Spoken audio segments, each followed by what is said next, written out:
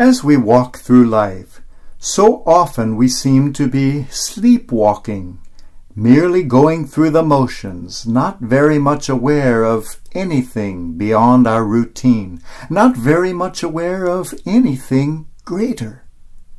But every once in a while, we experience something, or we meet someone, or we find ourselves somewhere, and like a powerful explosion of light inside of us, we suddenly become intensely aware of the presence of something infinitely greater.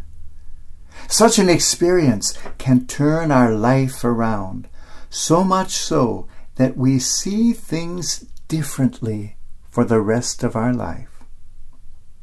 A wise old professor from Africa once confided in me, Whenever I go to the Serengeti, I know with every fiber of my being that there is a God. It was not until I myself visited there that I understood what he meant. Wandering through those endless plains, was a mystical experience, as though the whole of Mother Earth were crying out to me in a loud voice, Life! I am alive! It is quite an experience to be able to walk through the jungles of Africa, through the immense plains, and over the great mountains of that enchanted place regarded by many as the cradle of human life, where it all began. Everywhere you go, you are startled by one thing life. All around you, you see life in so many different forms. Up in the sky, the beautiful, colorful, singing birds of Africa. I learned some of their songs and learned to recognize their magnificent plumage. Everywhere in the sky is life. Below, too, on the ground, in the trees, you see life. As in a dream, the mysterious baobab trees appear before you, looking for all the world like things long dead, but they are very much alive, and some of them have been around for thousands of years. It is no wonder that some tribes regard these weird trees as the seat of ancient wisdom, something almost divine. You see the animals all around. Some of them appear to be something out of prehistoric times, like the ancient rhinoceros, the hippopotamus, or the great elephants. To see a baby elephant nursing at his mother's side is indeed an enchanting sight. You see herds of the most diverse types of antelope and wildebeest and buffalo and beautiful black and white striped zebra.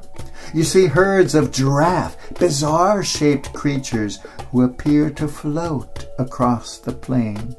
You see the baboons with their human-like babies clinging to their mothers' backs, monkeys and chimpanzees playing in the trees, families of gorillas as curious about you as you are about them. Then there are the big cats, beautiful sleek cheetahs, the fastest land mammals on earth, leopards, elusive and dangerous and nearly invisible in the trees, but when you see one, you will never forget it. And of course, the lions, the proud and majestic king of the jungle. The land is teeming with life. But the water, too, is exploding with life. One place appeared to have millions of flamingos all huddled together in one great sea of pink. They were eating the living algae, while next to them the great white pelicans went for the fish below. On the banks of the rivers and lakes stood ominously the dangerous hippopotamus and crocodiles. Even under the earth itself, the earth is bursting with life. Armies of very large and painful ants emerge and march, and one of them, in a particularly painful maneuver, marched right across my foot. It is as though the earth were pouring out life from under its surface, erupting in the form of the huge termite hills. It is as though the earth were too small to hold all the life it contains. Even death is not something terrible there, but just a natural part of the cycle of life. I even watched a lioness devour a wildebeest she had just killed. Death is there so that life may go on.